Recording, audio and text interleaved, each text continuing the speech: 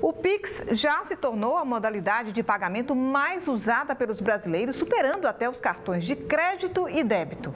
E até os comerciantes mais simples já se adaptaram à nova realidade, tudo para não perder a venda.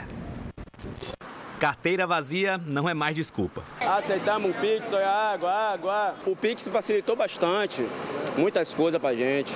Tem que ter o Pix. Motor, só tô com X reais, não tem desculpa. Aí ele pode dividir, né? Ele paga metade no Pix e a metade no dinheiro. Não pode deixar de levar o passageiro. A última vez que você foi a um banco sacar dinheiro? Rapaz, não me lembro. Às vezes, quando eu vou fazer alguma operação, alguma coisa assim na rua e não tem dinheiro, aí tem Pix. Entendeu? Um levantamento da ACI Worldwide confirma o que comerciantes brasileiros já entenderam na prática. Em março, o Pix se tornou a modalidade de pagamento mais utilizada no país, superando os cartões de débito e crédito.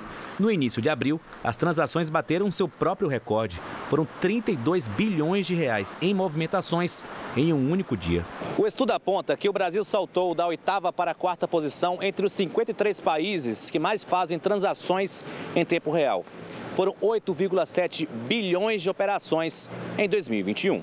Atrás apenas da Índia, China e Tailândia, a expectativa é de que nos próximos quatro anos haja avanço de 56% nas operações via Pix. Novas modalidades do serviço, como o Pix Saque e o Pix Troco, devem ajudar a impulsionar esse crescimento. E a gente faz com que toda a sociedade cresça, porque é aquele comércio de bairro, que é, muitas vezes não tem crédito, nem tem uma conta, uma conta corrente, ele através de uma conta poupança ele consegue operacionalizar o negócio dele sem custo. Em 2021, os pagamentos via Pix levaram o Brasil a uma economia de custos estimada em 28 bilhões de reais para consumidores e comerciantes. O papel é facilitar cada vez mais a vida do cliente nessa compra ou nessa negociação. Tem a questão de segurança, não trair a, a atenção dos bandidos, isso é importante. Não tem dinheiro no caixa, isso também, a gente conta com isso.